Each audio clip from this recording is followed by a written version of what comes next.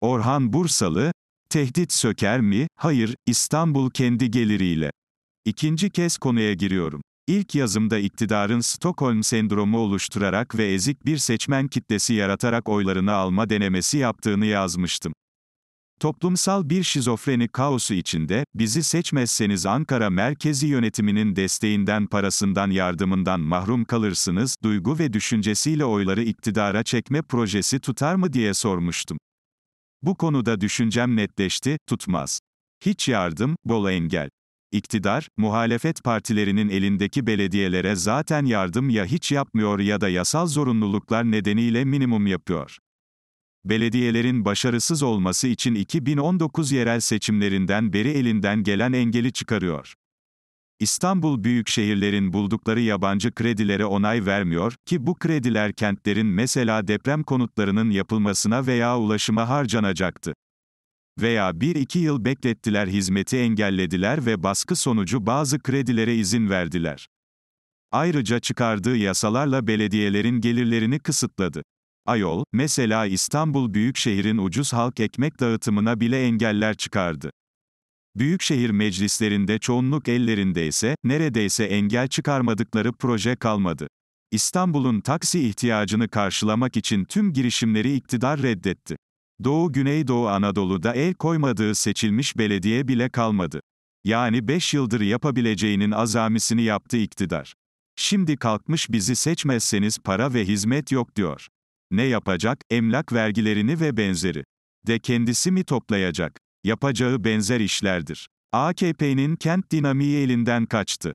Fakat buna rağmen CHP'nin elindeki büyük şehirler kendi gelirleriyle büyük işler yaptılar.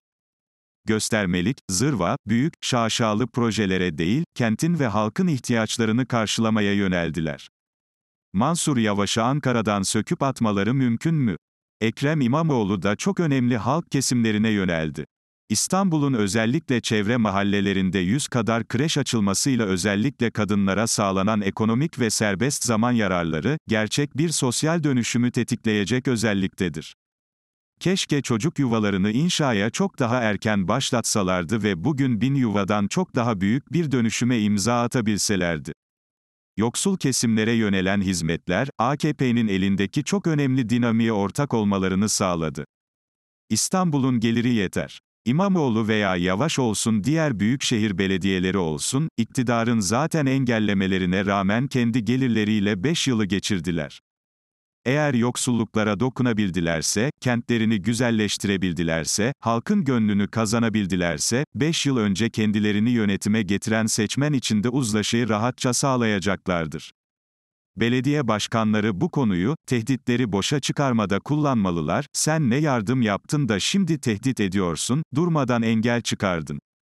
1 Nisan sonrasına vurgu. CHP lideri Özgür Özel'in konuşmalarının neredeyse hepsinde seçimlerden sonra 1 Nisan'dan itibaren gelecek ağır vergilerle korkunç zamlarla halkın daha da ezileceğini vurgulaması önemli bir yerel seçim dinamiğine dönüşebilir. Belediyelerin, seçim sonrası yine sizlerin güvencesi olacağız, söylemini sahaya sürmesi etkili olacaktır. Kent lokantaları hızla yayılabilir, üreticiden tüketiciye satışlar gündeme getirilebilir, getirilmelidir de.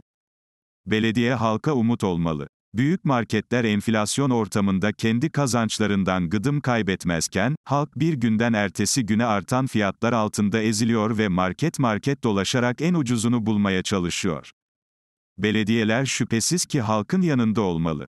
Seçimler önemli, kazanabilecek tüm adaylar desteklenmeli. Salı yazımda belirttiğim gibi, yerel seçim sonuçları gelecek umudunu yeşertmeli, iktidarın yerel seçimlerde büyük şehirleri düşürerek merkezi totalitarizmini ilan etmesi önlenmeli.